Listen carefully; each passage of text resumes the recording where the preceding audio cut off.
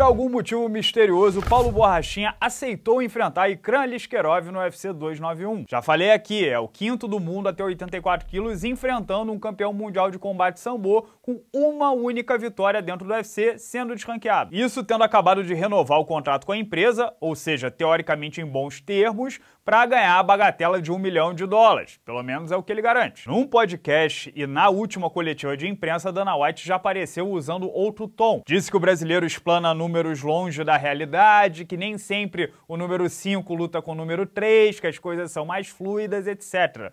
Até tô me perguntando aqui se os caras assinaram mesmo essa renovação contratual ou se essa não é a última luta do último contrato e Borrachinha ainda não renovou. Estão querendo pressionar o cara. Só que o presidente do UFC também, obviamente, não tem interesse em ficar desmentindo, queimando os seus ativos, os lutadores. Então costuma ser bem escorregadio, evasivo nesse tipo de resposta. E para ele não deve ser nada fácil ficar calado nesse tipo de situação, porque a declaração do Borrachinha inflaciona o mercado. Tipo, se o Borrachinha tá ganhando um milhão, por exemplo, o Dustin Poirier vai, bate lá na porta e pergunta por que não ganha o mesmo. Enfim, como não veremos contratos assinados, vai ficar no disse-me-disse. O lance é que a repercussão sobre a próxima luta com o Ikran Liskerov foi tão ruim que Borrachinha chegou a dizer no Twitter que o UFC tava mentindo. Aí ficamos novamente na berlinda, porque é verdade, Dana White chegou a anunciar Borrachinha versus Robert Whittaker em fevereiro desse ano. Borrachinha garantiu que não havia assinado nada e a luta não aconteceu. Pelo sim, pelo não, é fato que a empresa anunciou oficialmente o brasileiro contra Ikran Liskerov no dia 29 de julho, UFC 291. E as consequências são 1. Um, se perder, o brasileiro despenca no ranking. 2. Se vencer, não pode ter nenhuma lesão ou suspensão médica, mínima que seja, se não tá fora do duelo contra Hansa Kimaev em outubro. E 3. Será que ele consegue bater 84 quilos no final de julho e depois repetir a dose menos de 3 meses depois?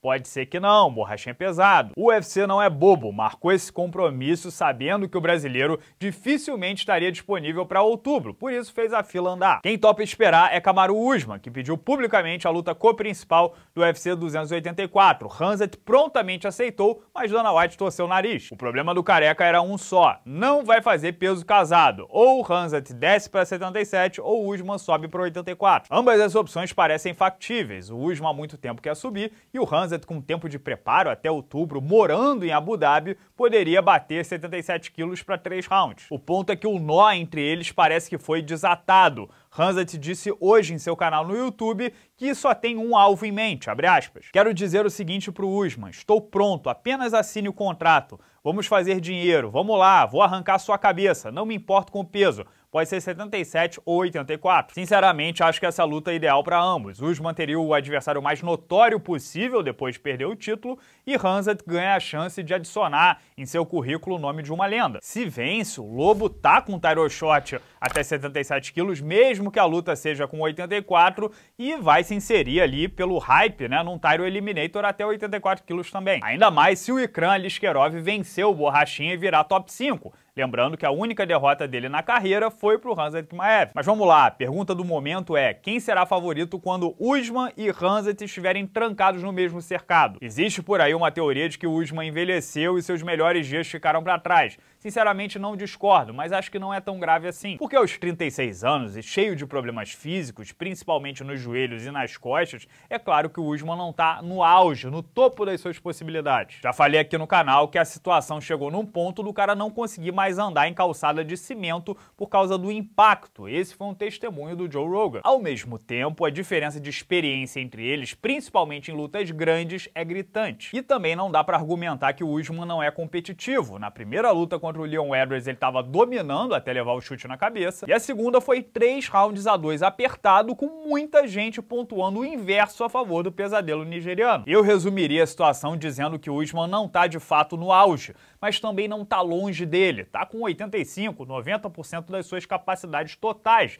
E isso já é suficiente para vencer 99% da concorrência. A questão aqui é se o Hanset faz parte desses 1% capaz de bater o segundo melhor meio médio da história do MMA. A única métrica nesse caso é o Gilbert Durinho. O Hanset passou por um fio de cabelo, por um jab duro conectado no primeiro assalto. Porque não fosse ele, ele teria perdido os dois primeiros rounds e, portanto, a luta. Já Usman também balançou contra o brasileiro, mas recuperou logo a compostura, dominou o segundo round e nocauteou no terceiro. Usman ainda tem a melhor defesa de quedas da história da categoria, com 97%, já treinou com a equipe olímpica americana depois de ser campeão da segunda divisão da NCAA. E para quem tem um ótimo jab e seu principal treinador é do boxe, o Trevor Whitman, também goza de envergadura superior. Isso significa que se o Hanset for para cima que nem maluco, vai encontrar uma base de concreto que nem encontrou contra o Durinho e gastar força à toa. Vamos combinar que Usman, Kevin Holland e Li Jigliang não são do mesmo planeta quando o assunto é wrestling. Então tudo leva a crer numa luta mais paciente em pé, como o Lobo fez contra o Ikran Aliskerov, outro que não conseguiu quedar. E aí, o jab com envergadura superior e a experiência falam mais alto